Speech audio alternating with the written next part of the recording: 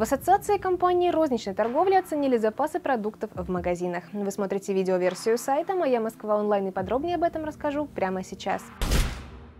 На сегодняшний день торговые сети не испытывают проблем с запасами и доставкой основных товаров в магазины. Об этом сообщают «Известия». По словам пресс-секретаря Аккорд Ильи Власенко, у магазинов не наблюдается проблем ни с запасами, которые сформированы с учетом колебаний спроса, ни с доставкой продукции в магазины. Как отмечает издание, зафиксирован высокий спрос на гречку, макароны и дезинфицирующие средства. Но правительство, местные администрации и ритейлеры контролируют ситуацию с поставкой товаров, подчеркнул Власенко.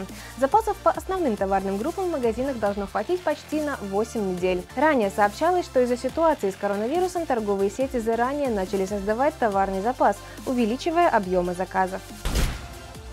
На этом у меня пока все. Больше свежих новостей на сайте mymsk.online. До скорого!